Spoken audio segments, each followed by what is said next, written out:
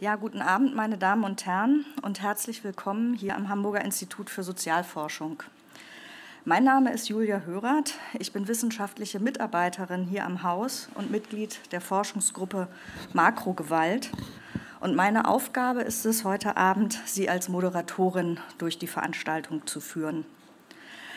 Es freut mich sehr, Sie zu dem Vortrag von Thomas Schäffer zwischen Befehlsverweigerung und blinder Gefolgschaft, soldatische Widerständigkeiten und ihre Grenzen im Falle eines Luftangriffs zu begrüßen. Der Vortrag ist der letzte von drei Vorträgen in unserer Reihe Gewalt im Prozess, in der wir uns mit der Dynamik von Gewaltereignissen und dem Zusammenhang von Ereignis, Prozess, Temporalität und Sequenzialität beschäftigen. Mit seinem heutigen Vortrag führt Thomas Schäffer uns in die Methode der transsequenziellen Analyse ein, die es ermöglicht, der Verkettung von Ereignissen innerhalb eines Prozesses anhand konkreter Objektbezüge auf die Spur zu kommen. Durch sein Vorgehen überwindet Thomas Schäffer jene narrative Erzeugung von Prozessen aus der Ex-Post-Perspektive, die mir als historisch arbeitende Politologin in wissenschaftlichen Texten doch recht häufig begegnet. Gerade diese empirische Fundierung von Prozessen und Verfahrensabläufen macht Thomas Schäffers Arbeit in meinen Augen so faszinierend. Thomas Schäffer studierte Soziologie an der Universität Bielefeld und promovierte 1998 mit der Studie Fallherstellung und Deutungsmacht, eine Art analytische Ethnographie des Asylverfahrens in Deutschland. Sein wissenschaftlicher Werdegang führte ihn anschließend an die University of Lancaster als Leiter einer Eminöter Forschungsgruppe an die FU Berlin und im Rahmen des Heisenberg-Programms der DFG an die Humboldt-Universität zu Berlin. Seit 2013 ist er Professor für Soziologie und Sozialpsychologie mit Schwerpunkt interpretativer Sozialforschung an der Goethe-Universität Frankfurt und seit 2019 geschäftsführender Direktor des dortigen Instituts für Soziologie. Aus seinem umfangreichen Publikationsverzeichnis möchte ich insbesondere seine ethnografischen Arbeiten über die Politik in Abgeordnetenbüros des Deutschen Bundestages, die urbane Kriminalprävention, über amerikanische, deutsche und englische Strafgerichtsverfahren und, wie bereits erwähnt, über die Asylpolitik in Deutschland hervorheben in denen er sein methodisches Vorgehen entwickelt hat. Bitte begrüßen Sie mit mir Thomas Schäffer.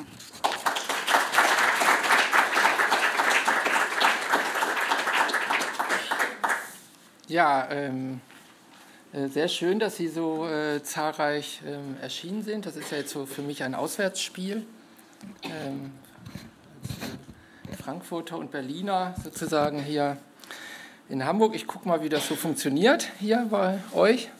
Ähm, ähm, mein, mein, Vortrag äh, beruht auf einer äh, Einzelfallstudie, ähm, äh, im Grunde ein, äh, ein Transkript. Äh, so viele Einblicke in, das, in die militärische Praxis haben wir nicht. Das ist sozusagen ein Transkript, was im Zuge eines Untersuchungsausschusses veröffentlicht wurde. Und wir haben mit einer kleinen Arbeitsgruppe in Frankfurt dieses Transkript seziert, könnte man sagen, und versucht zu verstehen, was dort vor sich ging.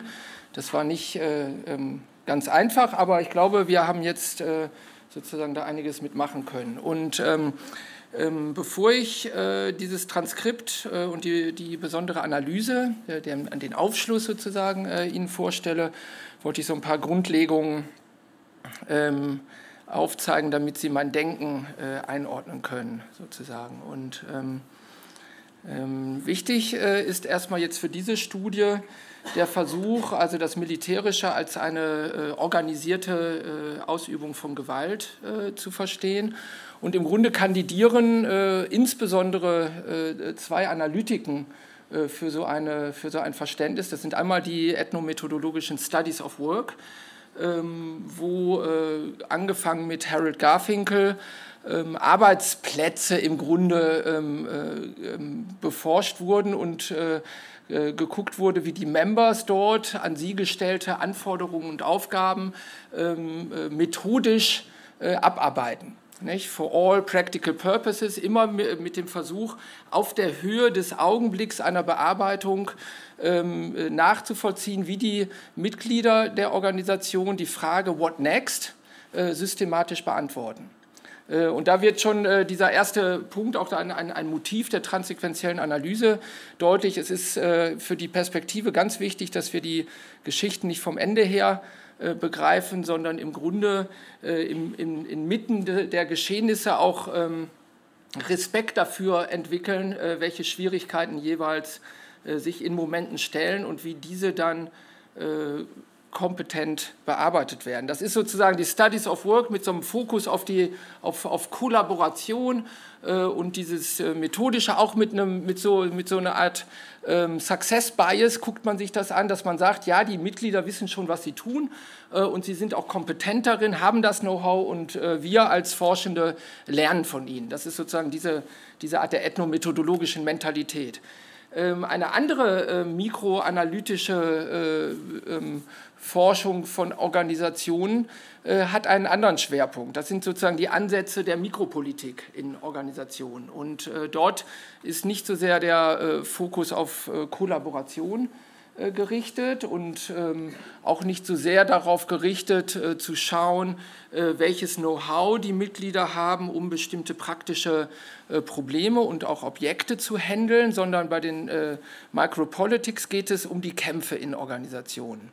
Ähm, und es gibt einen starken Fokus, sozusagen diese Kämpfe von den Taktiken her zu verstehen, die dann äh, bestimmte Fraktionen innerhalb der Organisation äh, zur Anwendung bringen. Also es ist im Grunde eine Machtanalytik, äh, die aber auch wiederum, wenn man es ernst nimmt, die Macht nicht einfach als eine verteilte Macht versucht zu verstehen, sondern die Macht inmitten der Kämpfe zu, zu betrachten, wie sie ablaufen und geführt werden.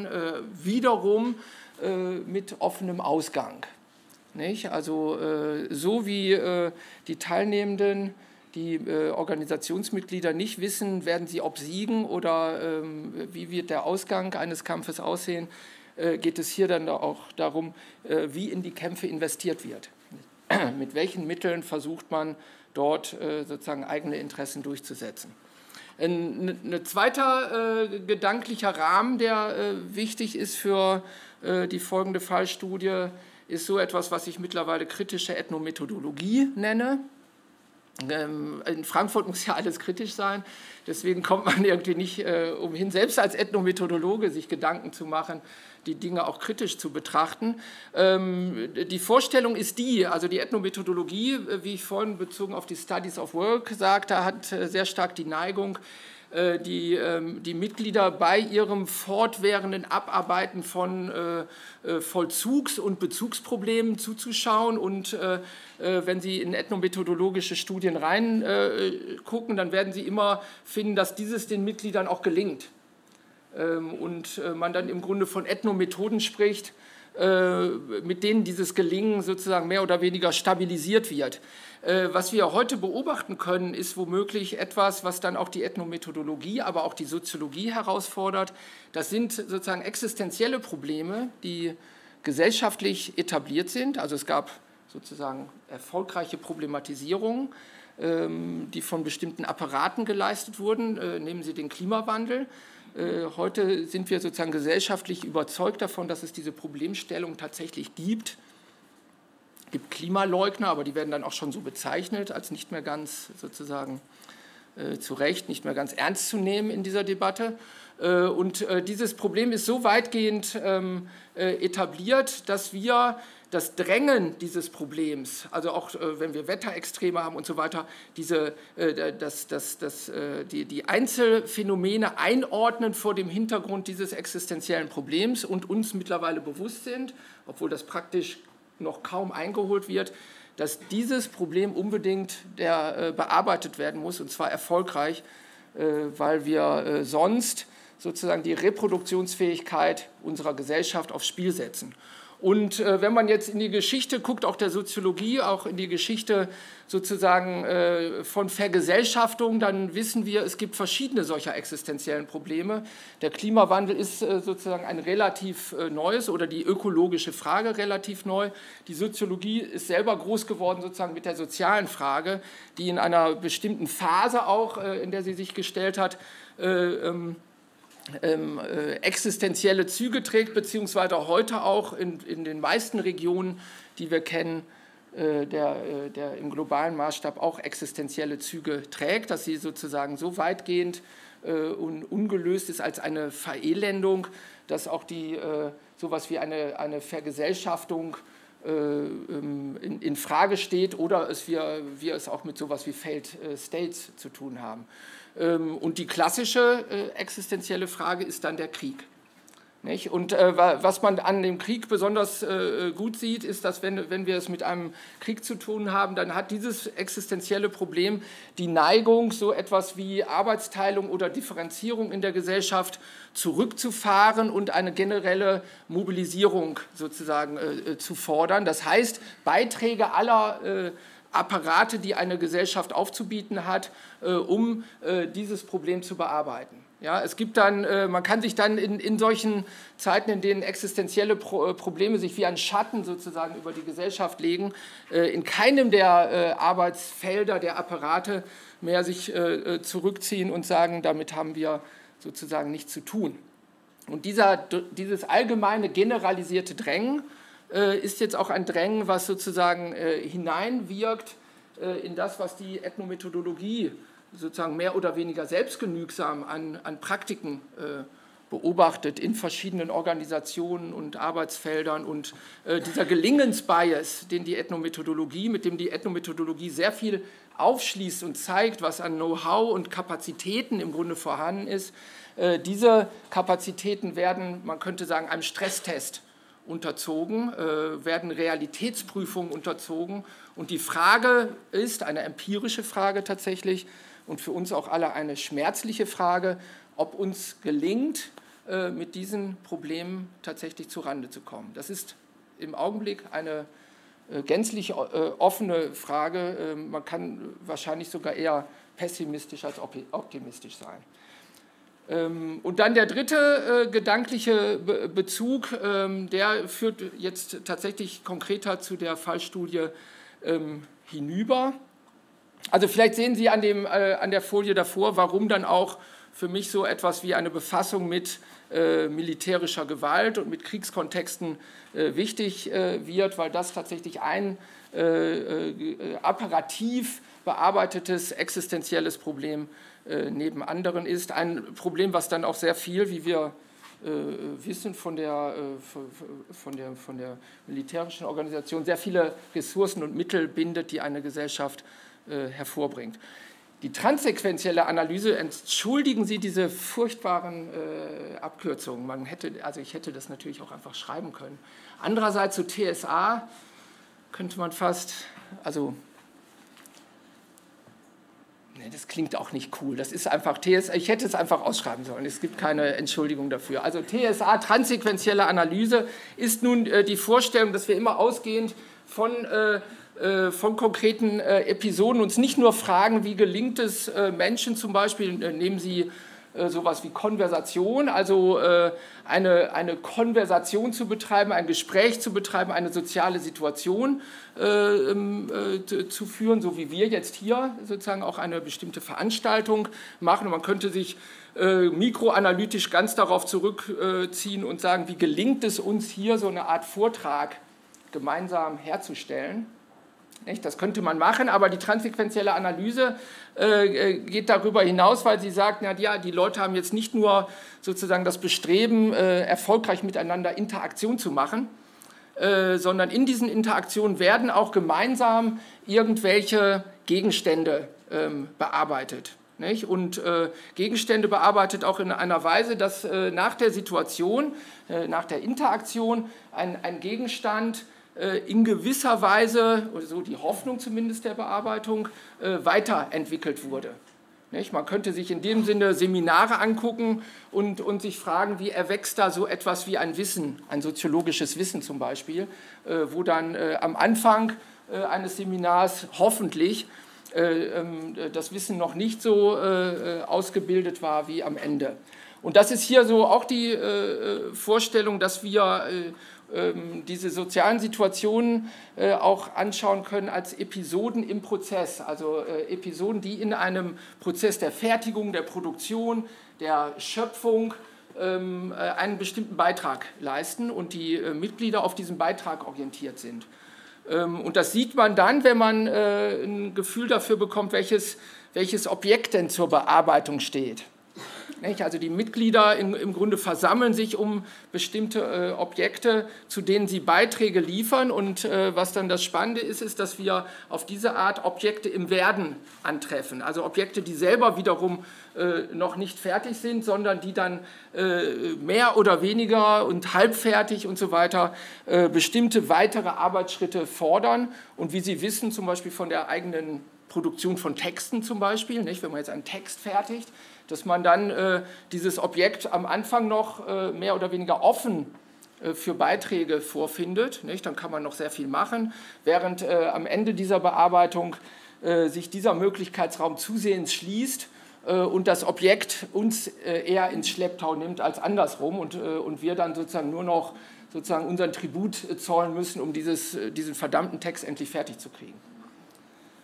Ähm, und in diesem, äh, in, diesem Beispiel jetzt äh, ähm, der, äh, einer Bombardierung der Tanklastzüge ähm, in Afghanistan tauchte jetzt eine Besonderheit auf. Nicht nur das Objekt des Befehls, was in dem Bearbeitungsprozess sukzessive sozusagen ausgefüllt wird, sondern es tauchte auch noch etwas anderes auf, was was ich provisorisch, ähm, vielleicht auch nicht, äh, könnte man, äh, also müssen wir diskutieren, als Anti-Objekt äh, bezeichnet habe. Also ähm, äh, ähm, kollektive Anstrengung der äh, Befehlsempfänger, ähm, äh, den Befehl in gewisser Weise in Frage zu stellen. Und diese kollektiven Anstrengungen, die sich auch sukzessive erst entfalten, auch sehr vorsichtig entfalten, das werden Sie gleich sehen, weil es tatsächlich sensibel ist, äh, einen äh, Befehl, äh, gegen einen Befehl zu arbeiten. Ähm, dieses Anti-Objekt wird sozusagen gegen das Leitobjekt des Befehls in Stellung gebracht. Ähm, und ich führe Sie jetzt sozusagen hindurch durch diese, diese Karriere des Anti-Objekts. Ich werde jetzt nicht so viel sagen zu dem Befehl selbst, weil der Befehl selbst tatsächlich eine recht kurze Karriere hat. Der wird nämlich ausgesprochen sozusagen als ein Sprechakt und dann ist er im Raum und hart sozusagen der, äh, der, äh, der Vollendung durch, die, durch den Abwurf der Bombe. Äh, ähm, aber während dieses Objekt von zwei Kampfjets und der jeweils zweiköpfigen Besatzung ähm, bearbeitet wird, tun sie auch noch etwas anderes. So, damit kommen wir ähm, zu dem Fall, der auch, glaube ich, immer noch so auch im kollektiven äh, Gedächtnis ist. Das selber äh, wäre interessant äh, zu untersuchen, was dann eigentlich von so einer von, von, von so einem militärischen Einsatz dann sozusagen bleibt. der Kundus-Einsatz hat bis heute sozusagen auch ein schlechtes Image sozusagen. Das wird als eine, ist als, als eine Fehlleistung eingegangen sozusagen in die Geschichte ähm, äh, der Bundeswehr. Aber im Moment der Ausführung sahen die Dinge tatsächlich äh, anders aus, wobei, wie, wie Sie sehen werden, es auch äh, von Anfang an bestimmte Befürchtungen gab. Ähm, der Oberst Klein, der den Befehl zur Bombardierung der beiden Tanklastzüge gab, musste sich später rechtfertigen für das, was äh, passiert ist, vor einem äh, Untersuchungsausschuss. Das ist dann sozusagen der Verteidigungsausschuss, der dann als Untersuchungsausschuss ähm, fungiert. Ähm, er wurde äh, dort vorgeladen, wobei man sich das jetzt nicht zu feindselig vorstellen darf. Also so, soweit Mitglieder des Ausschusses berichteten, wurde er mit Tischklopfen begrüßt äh, bei der Anhörung und hatte sozusagen recht freie Hand, äh, die Ereignisse aus seiner Sicht äh, vorzustellen. Das ist in dem Sinne auch wichtig, zu, äh, sich vor Augen zu führen, dass er freie Hand hatte, weil von äh, seiner Rolle im Grunde kaum Dokumente vorliegen, die ihn in irgendeiner Weise äh, in seiner Darstellung disziplinieren würden. Nicht? Er konnte eine recht freie äh, Vorstellung äh, geben von dem, was, äh, was ihn damals sozusagen bewegte, weil es von der Leitzentrale keinerlei sozusagen ähm, Rechenschaft gab, die nahe an diesem Ereignis lagen. das waren sozusagen alles ähm, schöne, bereinigte, geblackboxte äh, Version dessen, was passiert ist. Und er hat dann äh, so etwas gesagt, aus der Sicht eines objektiven Betrachters war es beim damaligen Kenntnisstand unwahrscheinlich, dass sich zu dieser Zeit Menschen dort aufhielten, die nicht in irgendeiner Art und Weise an der Entführung der Tanklastzüge und der Tötung eines Fahrers beteiligt waren. Also es sind dann solche Versionen, äh, die sozusagen auch rechtlich hier den, das, das Kommando sozusagen auf die sichere Seite bringen äh, weil es äh, immer darauf ankommt zu sagen, zum Zeitpunkt äh, des Befehls mussten wir davon ausgehen, dass es hier sich rundweg um Aufständische handelte.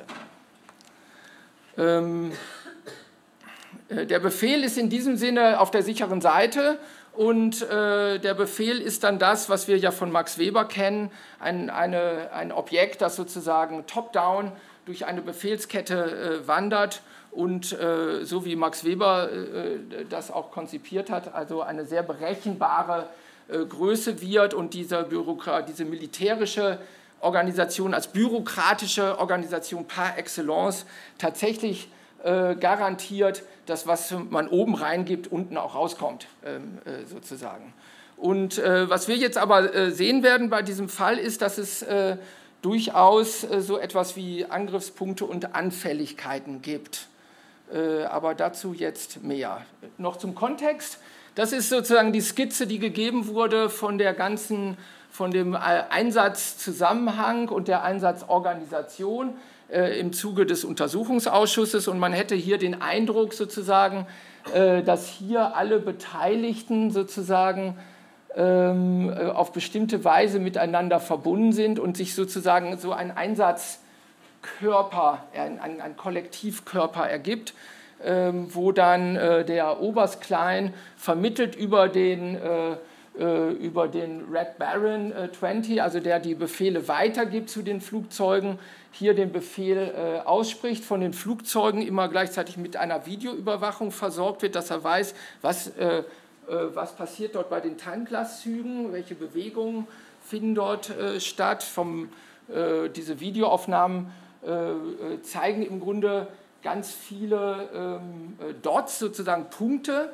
Also man sieht sozusagen die Menschen dort bei den Tanklastzügen nur noch so als Punkte, die sich irgendwie bewegen. Und das ist dann sozusagen auch die, die eine Grundlage für den Befehl. Eine andere Grundlage sehen wir dort, eine, ein Informant, ein ominöser Informant, der aber immer im Dunkeln bleibt, der am Boden sozusagen die Information weitergibt, was sich denn dort zuträgt.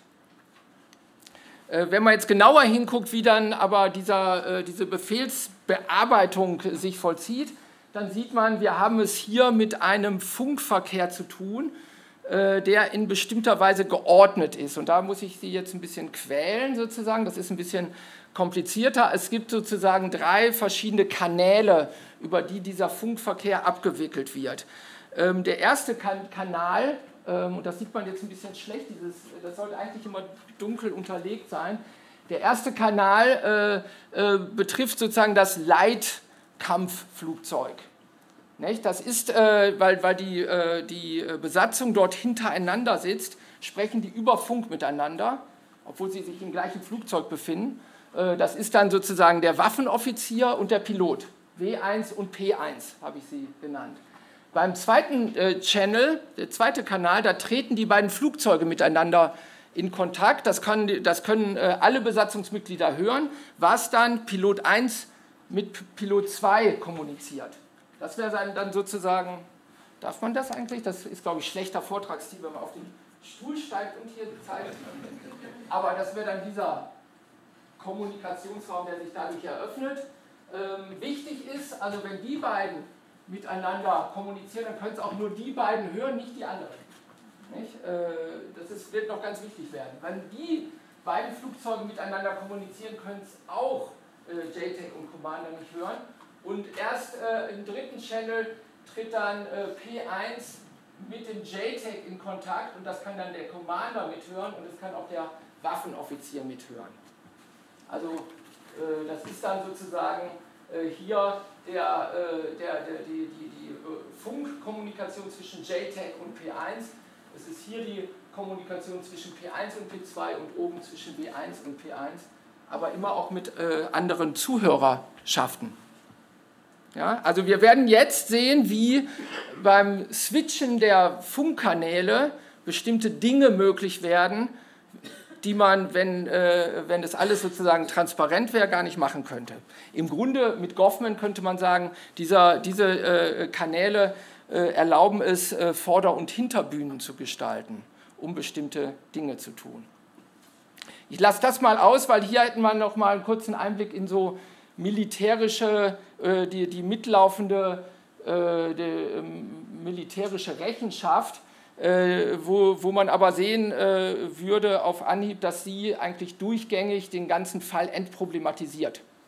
Nicht? Also es, es, es, treten aufgrund dieser Berichte keinerlei Fragen auf und keinerlei Zweifel, dass sich das alles ordentlich verhält. Wenn man jetzt in die deutsche Presse gucken würde, die kurz danach dann äh, sich auf den Fall stürzte, da wird dann der Fall natürlich hochgradig fraglich und es wird auch zum Gegenstand einer Skandalisierung gemacht. So, jetzt steigen wir mal ein in die Karriere des Anti-Objekts.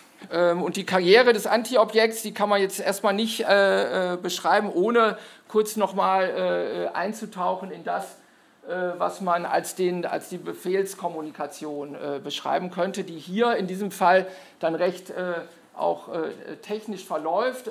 es wird angegeben, äh, sozusagen der Ort äh, der, äh, oder die Konstellation, die zu bombardieren ist, die wird kurz erläutert mit roughly 50 up to 70. Punkt, Punkt, Punkt. Das ist nicht im Transkript. Das, wird, das Transkript wird geweißt und geschwärzt, was die Analyse erschwert natürlich. Es gibt sozusagen bestimmte Auslassungen, aber diese 50 bis 70 wie auch immer, äh, werden dann noch auch äh, sehr wichtig werden. Und äh, P1 dokumentiert sozusagen auch die Annahme dieses Befehls mit, zusammen mit äh, Informationen des eigenen Standorts und der äh, Wetterbedingungen. Ja, aber hier ist der sozusagen der Befehl wird hier nochmal entgegengenommen. Und äh, kurz nach dieser Befehlsentgegennahme, die ja auch der Waffenoffizier mithört, ähm, also er hat zumindest die Möglichkeit, hier fragt dann der äh, Pilot äh, seinen Waffenoffizier, ob er gehört hat, was der JTAG gesagt hat. Nicht? Also did you hear what the, what the JTAG said? Äh, der Waffenoffizier war mit anderen Dingen beschäftigt, sagt no. He said get ready for 50 to 70 packs at this specific location. Packs means, uh, also bedeutet person approximate, also so eine nicht? Äh, das ist sozusagen so eine Sprachregelung. Und dann sagt W1, what the, und dann kommt explicative, das ist irgendwie eine Art von Fluch. Ähm, das ist äh, das, was, äh, was man dann sagen könnte, was so eine Art der, das ist eine Entgegennahme von, wir wissen jetzt nicht genau, worauf sich das bezieht. Das ist aber total wichtig zu diesem Zeitpunkt, dass wir das nicht wissen, weil es im Grunde einfach nur so eine Art der des Zögerns ist, der, der, der, des Ausdrucks äh, einer äh, wie auch äh, immer gearteten Irritation, ähm, die er dort zum Ausdruck bringt. Wir sehen dann in dem, was darauf folgt, dass äh, der P1 nur äh, sagt und äh, dadurch vielleicht signalisiert, dass er das durchaus registriert hat, aber er da, darauf weiter erstmal nicht eingeht. Also wir haben es äh, in einem ersten Schritt, der Einstieg sozusagen, das ist das Argument, in die Karriere des Anti-Objekts wird hier nur mit einem Zögern äh, vollzogen. Ähm, das ist im Grunde eine äh, Kleinigkeit, die einem vielleicht sonst gar nicht auffallen würde, aber es wird hier sozusagen eine, eine ähm, etwas markiert, was nicht normal ist. Und jetzt äh, ist die Frage, wie steigt jetzt sozusagen die Relevanz, also wie, wie steigt man ein in so etwas wie die Schöpfung eines Antiobjekts und das vollzieht sich hier dadurch, dass dieses Zögern ähm, ähm, zu einem äh, Ausdruck eines persönlichen Anzweifelns gemacht wird. Also er, er, kommt mit der Katze aus dem Sack, könnte man sagen, der Waffenoffizier, indem er sagt, Dude, we can't bomb that man. Nicht? Also, also äh, äh, er bringt das sozusagen zum Ausdruck, auch schon in der Orientierung. Man sieht mit dem We, ne, dass es sozusagen einen Anrufungscharakter hat, das können wir beide sozusagen äh, äh nicht machen. Und das ist in dem Sinne eine, ein Ausdruck, der womöglich auch äh, markiert, dass hier diese Crew sich in, in, gewisser Weise kennt, dass die beiden sozusagen Kameraden sind, die äh, wo man womöglich eine gewisse Vertrauensbasis hat, weil es natürlich riskant ist, so etwas zu sagen äh, vor dem Hintergrund, äh, dass man damit andeutet, man wäre womöglich bereit, den Befehl zu verweigern. Ähm, das wird hier aber in diesem, man könnte sagen, quasi privaten Rahmen ähm, gesagt und äh, der W1 setzt sich damit natürlich in gewisser Weise den Risiko aus, dass er nicht weiß, wie sein Vorgesetzter, der Pilot, darauf reagiert. Ähm, wie reagiert er darauf? Das ist jetzt, jetzt gehen wir die Karrierestufe hoch. Äh, das Anti-Objekt, was hier noch sozusagen nur ein persönlicher Zweifel ist, er weiß ja noch nicht mal, ob dieser Zweifel geteilt wird, ähm, ähm, der wird hier äh, entgegengenommen. Also er wird erstmal nochmal geäußert, yeah dude, I don't know how we'd be able to drop anything on that as far as current, und jetzt habe ich, hab ich äh, zu schnell gesprungen. Also der, der äh, P1 nimmt diesen persönlichen Zweifel entgegen, äh, reagiert gar nicht gegenüber dem Waffenoffizier darauf, also er sagt ihm nicht, was er davon hält, sondern switcht den Kanal, er geht in den zweiten Kanal, den Kanal, der ihn mit dem anderen Flugzeug verbindet und gibt sozusagen den Zweifel schon als gemeinsamen Zweifel weiter. Und das ist äh, äh, hier, das ist ganz interessant, dass er gar nicht äh, auf den anderen, auf den, auf den Kollegen reagiert und ihm sagt, ich gebe dir da recht oder so etwas, sondern er äh, kommuniziert direkt mit dem anderen Piloten und sagt, yeah dude, I don't know how we'd be able to drop anything on that as far as current ROE, rules of engagement and stuff like that. Ähm, und das Interessante hier ist, dass äh, hier nicht einfach nur ein Zweifel äh, geäußert wird, sozusagen eine, wie auch immer, persönliche äh, Meinung, sondern dass dieser Zweifel ausgestattet wird als professioneller Zweifel, als eine professionelle Skepsis. Die wird sozusagen objektiviert. Hier wird äh, unmittelbar mit Bezug auf diese Rules of Engagement wird gesagt, wir als äh, oder äh, ähm, Soldaten, die, die, also verantwortliche Soldaten, äußern hier unsere Zweifel im Lichte der Checkliste, die wir bei solchen Angriffen durchgehen müssen. Also es ist sozusagen hier, wenn man so will, ein legitimierter Zweifel, der in, in dieser Hinsicht, weil es auch nach außen tritt, das erste Mal, ähm, durchaus sozusagen mit einer bestimmten Berechtigung daherkommt. Der kann sozusagen nicht so leicht äh, womöglich zurückgewiesen werden. Das ist jetzt ein richtiger Karrieresprung. Aus dem persönlichen Zweifel wurde jetzt sozusagen eine Stellungnahme, eine professionelle Stellungnahme gegenüber dem anderen äh, Piloten. Ähm, interessant, äh, während wir jetzt sozusagen die Karriere des Antiobjekts verfolgen, interessant zu sehen ist, dass diese Zweifel äh, und diese Kommunikation jetzt nicht dazu führen, dass die Bearbeitung des Befehls sozusagen gestoppt wird. Äh, oder dass sie sagen, wir klären das erst, bevor wir überhaupt an dem Befehl weiterarbeiten, sondern mitlaufend parallel werden alle ähm, äh, technischen und so weiter äh, äh, Handgriffe weiter vollzogen, die nötig sind, um sich für die Befehlsausübung bereit zu machen. Nicht? Also es werden sozusagen alle äh, äh Fragen geklärt, ähm, um auch ähm, gegenüber äh, den, äh, ähm, gegenüber der äh, Kommandozentrale zu signalisieren, dass man inmitten sozusagen der Befehlsvorbereitung, der Befehlsbefolgung sich bewegt. diese mitlaufende Darstellung hört überhaupt nicht auf. Das ist ein äh, äh, wichtiger Punkt, der nochmal zeigt, dass dieses Leitobjekt sozusagen äh, hier nach wie vor das Dominante bleibt und das Antiobjekt dem sozusagen äh, untergeordnet ist. Ähm, und dann äh, haben wir einen weiteren Karriereschritt, der sich jetzt vollzieht äh, zwischen äh, erstmal zwischen äh, W1 und P1, also aus dem äh, ersten Pilot.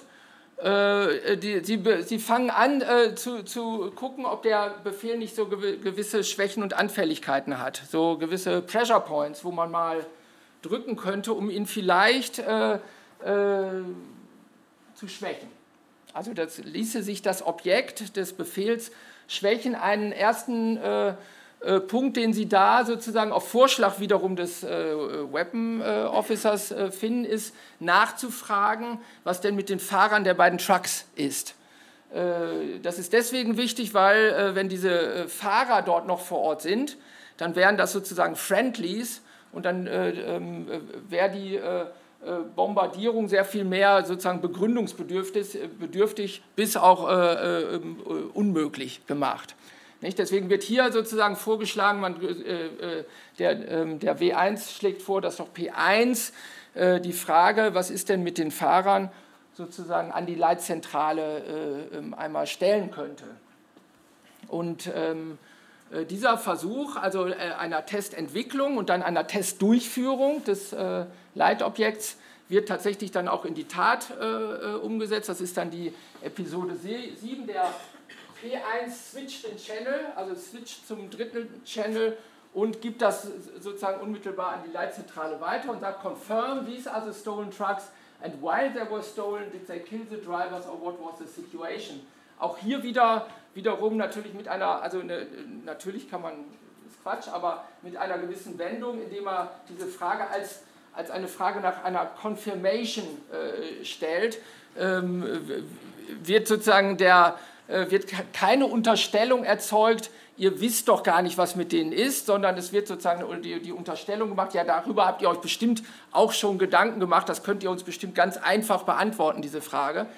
Ähm, und der JTAG sagt dann, äh, that's affirmative, They are the stolen trucks. Also, I have no information about the drivers at this time, but we got the intel information that all individuals down there are insurgents.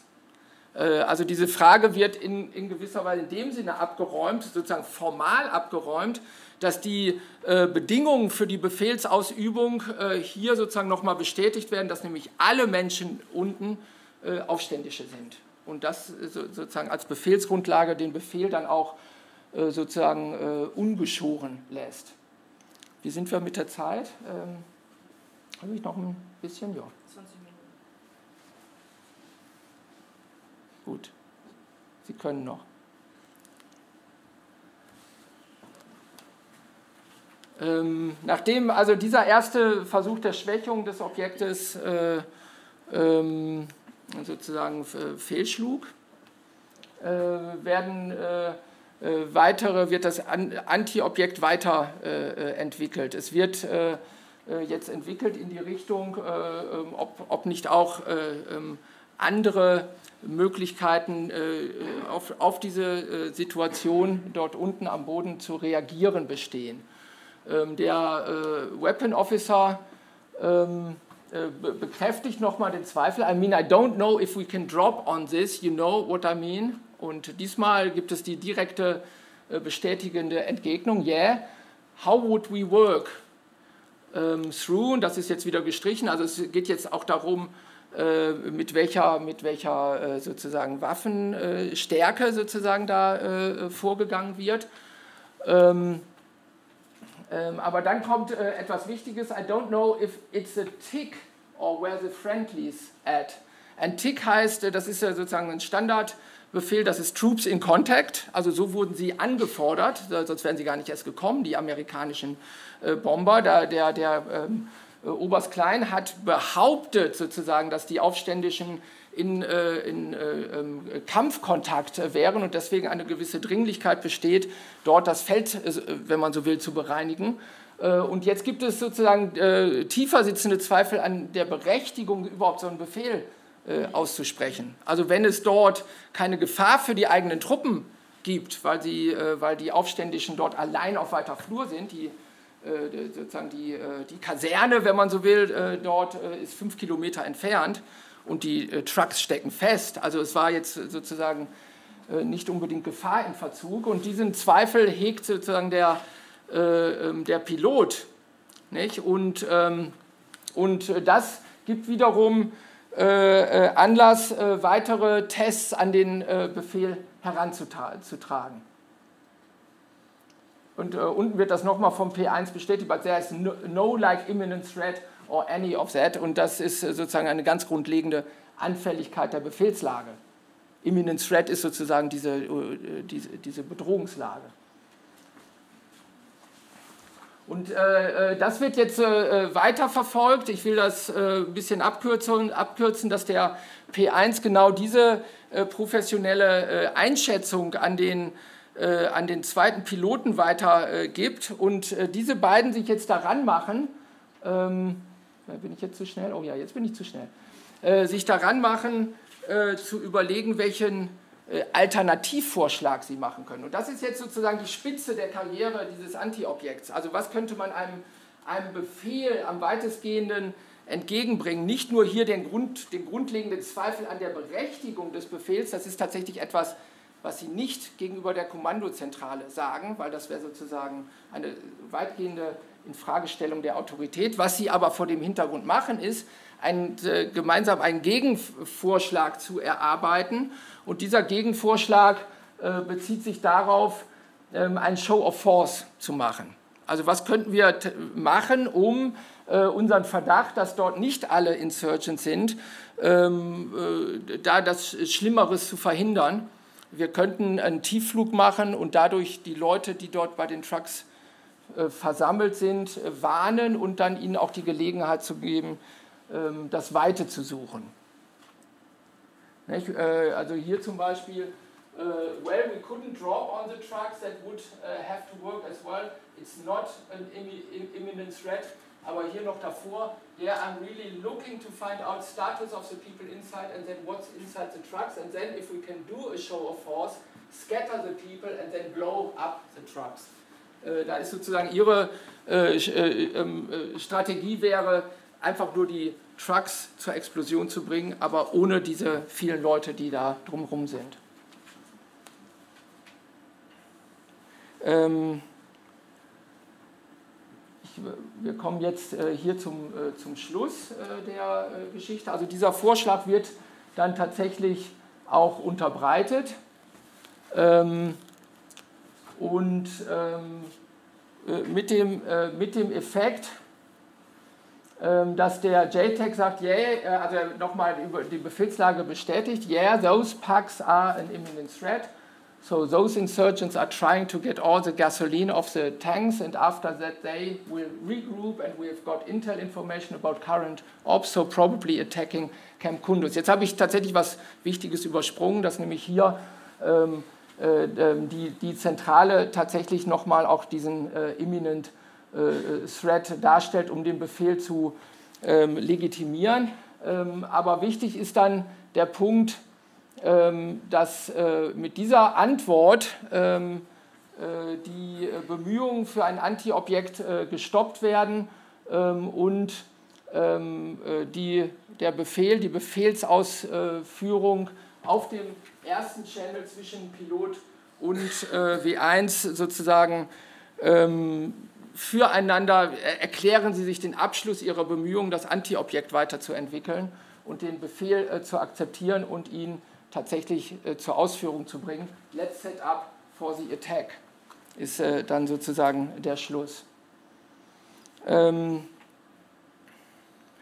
ähm, das, was ich übersprungen habe, ist tatsächlich äh, äh wichtig insofern, als Sie sich äh, mit der Kritik an diesem Befehl, also äh, Kritik auch an der Befehlslage des Imminent Threats, tatsächlich ja hier P1 confirm one last time these packs are an imminent threat, tatsächlich am weitesten hervorwagen und den, den, die Befehlslage tatsächlich am weitestgehenden in Frage stellen, aber sich auch hier sozusagen äh, eine Reformulierung des Befehls, der Befehlslage einhandeln. Und daraufhin geben sie auf und führen den Befehl auf und bombardieren ähm, diese Tanklastzüge ohne weitere Warnung und ähm, verursachen damit ähm, das Sterben von 100, rund 130 bis 150 Menschen, Frauen und Kinder und so weiter, die dort auch vor Ort waren. Ähm, und diese Bemühungen sind dann sozusagen gescheitert. Ich möchte jetzt nochmal diese äh, Analyse, die jetzt hier vielleicht so ein bisschen äh, schnell ging, ich hoffe, Sie konnten so einigermaßen äh, folgen, will ich nochmal einordnen. Wir haben sozusagen zwei Karrieren. Wir haben einerseits die äh, ähm, Top-Down-Karriere äh, des Befehls.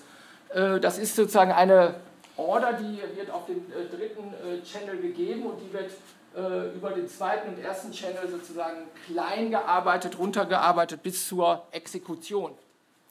Äh, und gleichzeitig haben wir eine gegenläufige ähm, Karriere des Anti-Objekts, die tatsächlich in dem in dem intimst, in, in, intimsten Kommunikationsrahmen beginnt.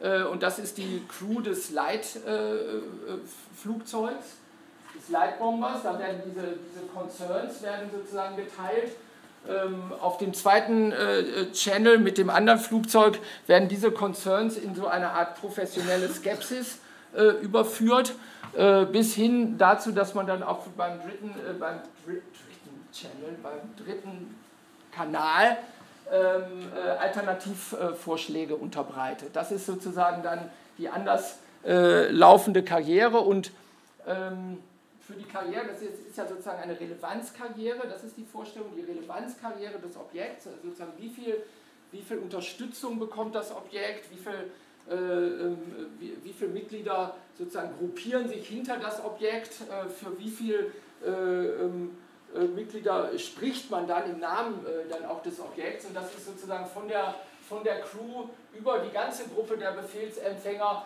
bis hin äh, zur Befehlszentrale, aber die Befehlszentrale sozusagen teilt dann äh, dieses Objekt nicht mehr. Und damit äh, ist dann diese Karriere des Anti-Objekts beendet und gedeckelt, könnte man sagen. Und jetzt könnte man hier fragen, ja, wie ist denn äh, jetzt das Verhältnis dieser beiden Karrieren zueinander zwischen Befehl und Befehlsverweigerung? Was man als erstes sieht, ist, dass es hier keine äh, offene Konfrontation gibt. Nicht? Also man, äh, es gibt an keiner Stelle äh, sozusagen eine Kommunikation, wo, wo, wo, gegenüber der Leitzentrale gesagt wird, das machen wir nicht. Ähm, das machen wir nicht, bleibt äh, rein intern, bleibt sozusagen auf der Hinterbühne zwischen denen, die eine Vertrauensbasis haben oder dann auch zwischen denen, die eine Vertrauensbasis etablieren, indem sie äh, äh, antesten. Nicht? Was sagen die von dem anderen Flugzeug dazu? Die sind tatsächlich in Teilen anderer Meinung, aber man testet vor, äh, wie weit man äh, hier sozusagen auch professionellen äh, Zweifel äh, äußern kann, ohne da auf Widerstand zu stoßen. Also es gibt keine offene Kon Konfrontation. Es gibt ähm, stattdessen so etwas wie ein Austesten und Versuchen, wie weit man so etwas wie eine Infragestellung des Befehls tatsächlich ähm, äh, treiben kann. Ähm, es gibt dann allerdings, äh, und man muss sich ja jetzt vorstellen, das findet ja alles in äh, sozusagen Windeseile statt, nicht? unter Hochdruck. Das ist ja, das ist ja sozusagen eine, eine Situation, die sehr, die, die Beteiligten sehr beansprucht. Und äh, gemessen daran ist sozusagen der Aufwand, der hier betrieben wird, neben, der, neben dem sich fertig machen für die Befehlsausübung, sozusagen sich in Stellung zu bringen, ähm, und äh, das Ziel äh, sozusagen zu, äh, an, anzuvisieren, auch nochmal Tests zu machen, ob tatsächlich keine eigenen Bodentruppen dort in der Nähe sind und so weiter, also auch eigene Fahrzeuge oder dergleichen. Also gemessen daran ist dann ähm, ähm, der Aufwand, diesen, dieses Anti-Objekt voranzutreiben, tatsächlich groß. Nicht? Es gibt verschiedene Runden, in denen das äh, sozusagen über, verschiedene, über die verschiedenen Channel hinweg äh, betrieben wird. Und das ist äh, sozusagen beachtlich, der, der Aufwand, der hier betrieben wird. Es bleibt aber gleichwohl das Nebeneinander dieser Bearbeitung. Ähm, wie ich schon sagte, es, es, kommt nicht zu einer Einklammerung des Befehls, äh, ein Moratorium und man sagt, äh, lass uns das erst klären. Ähm, und und dann ist der fünfte Punkt, äh, ist glaube ich wichtig, weil wir dürfen nicht vergessen, dass all das, was jetzt dort äh, im Funkverkehr geäußert wird, auch gleichzeitig aufgenommen wird. Also es ist zwar nicht transparent für die Befehls-, äh, für die äh, Kommandozentrale, während des, des Einsatzes. Es ist aber gleichzeitig ähm, eine Art mitlaufende Dokumentation der Bemühungen der beteiligten Befehlsempfänger. Und was Sie im Grunde bei, dem, bei der Verfertigung des Antiobjekts machen, ist, dass Sie zugleich Rechenschaft darüber ablegen, ähm, sozusagen mit welcher Vorsicht und mit welcher Zurückhaltung sie äh, vorgehen. Das wird dann im Nachhinein, äh, äh, ist das dann tatsächlich wichtig, also dass die, die die Bombardierung durchführen, ähm, auch ihre professionelle Sorgfalt, Sorgfaltspflicht belegen können. In diesem, in diesem Sinne äh, ist jetzt das Antiobjekt überhaupt nicht gescheitert, äh, sondern äh, versichert sozusagen die Befehlsempfänger auch gegenüber den Befehlenden, dass sie alles getan haben, was in ihrer Macht steht, sozusagen hier äh, äh, einen womöglich nicht korrekten Befehl äh, zu verhindern. Und ähm, ähm, ein weiterer Schluss, den man aus der Fallstudie äh, ziehen kann, ist, dass hier die Befehlsgewalt äh, strukturell abgesichert oder äh, präferiert wird. Also wir sehen das äh, einmal darin, also äh, einerseits wissen wir jedes A und jeden Zweifel der Befehlsempfänger, das ist sozusagen äh, auf, auf Band und das wird transkribiert und das liegt vor. Gleichzeitig sind aber, ist aber die ähm, Rechenschaftspflicht der, der Befehl, des Befehlsgebenden ähm, im Grunde auf den Befehl selber eingeschränkt. Es gibt hier darüber hinaus außer dass man einfach äh, dann äh, mit gewissen Formeln den Befehl äh, wieder und wieder sozusagen bestätigt, gibt es keine weitere Rechenschaftspflicht. Es, es gibt auch keinerlei Dokumentation darüber, was jetzt der Oberst Klein mit dem JTAG äh, verhandelt hat nicht? oder welche Anweisungen er ihm gegeben hat. All, all, das ist geblackboxt. Und in dem Sinne ist hier der Befehlsgeber äh, abgeschirmt. Nicht? Man, äh, und das ist halt, hat natürlich wich, wichtige äh, sozusagen Implikationen dafür, wie sich äh, hier so etwas denn im Nachhinein äh, nicht nur untersuchen, lässt, untersuchen ließe, sondern auch rechtlich womöglich verfolgen lässt. Hier wird sozusagen der Befehlsgeber geschützt. Ähm, gleichzeitig haben wir, und das ist jetzt, glaube ich, das kann ich zusammenfassen, die Befehlsempfänger sind sozusagen äh, tätig, nicht nur den Befehl entgegenzunehmen, sondern während sie den Befehl entgegennehmen, während sie ihn anzweifeln, genauso eine mitlaufende Rechenschaft äh, abzulegen. Und das Anti-Objekt hat in diesem Sinne durchaus die Funktion, sowas wie eine Wahrung der Sorgfaltspflicht ähm, äh, vorzuführen, also im Grunde so einen Account zu machen, wo sie, wo sie selber dann auch ähm, äh, als äh, sorgsame ähm, äh, Soldaten ähm, äh, in Erscheinung treten und auch die Verantwortlichkeit klar äh, zuwenden können. Ich komme zum Schluss und das ist jetzt äh, sozusagen die sozusagen eine Irritation dessen, was man dann bei Max Weber mit der Befehlskette findet, mit diesem also maschinenähnlichen Betrieb des militärischen Apparats. Im Grunde ist der Befehl, das zeigt die Fallstudie, äh, ähm, der ist nicht gegen alles imprägniert, sozusagen. Der ist nicht äh, einfach eine äh, durchlaufende Größe, die nicht auch sozusagen ähm, in Frage gestellt werden könnte. Wir haben hier verschiedene Bedingungen, die, die sozusagen eine Anfälligkeit des Befehls in Ansätzen andeuten. Das ist einmal ähm, die im Vollzug der Operation äh, dann äh, nicht durchgängig transparente äh, Kommunikationsstruktur. Also wir haben hier die Vorder- und Hinterbühnen, die durchaus Möglichkeiten geben zum, zu einer Organisierung von Widerstand, könnte man sagen. Wir haben gleichzeitig eine Reihe von, von Regularien, also wir haben die Rules of Engagement gehört, es gibt auch sozusagen internationales Kriegsrecht und so weiter, die zwar nicht wirklich zur Wirkung kommen, also man kann nicht sagen, dass die Leute sich sozusagen danach verhalten, aber äh, sie äh, legitimieren bestimmte Zweifel.